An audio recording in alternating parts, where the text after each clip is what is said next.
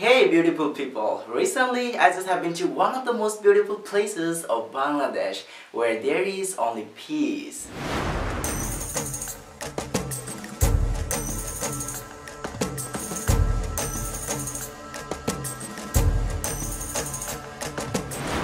So today I'm gonna share is it worth to be there and how safe that place is.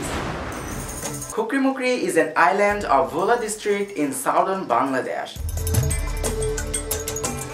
It's 10 kilometers long and 9.5 kilometers wide. The land is low-lying and at high tide, extensive portions are underwater. The Char Kukri Wildlife Sanctuary lies on the island. It took almost 20 hours all the way from Chittagong to be there by buses and launches. We spent nights in tents there just beside the Meghna River. Hey! Good morning guys. Both the sunrise and sunset are heavenly beautiful. You can have fresh hilsa instantly. You can either cook or do barbecue with it.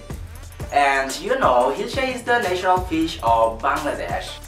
It has super long beach, you can walk around and enjoy the nature. You will get the supplies of tents and barbecue ingredients there easily.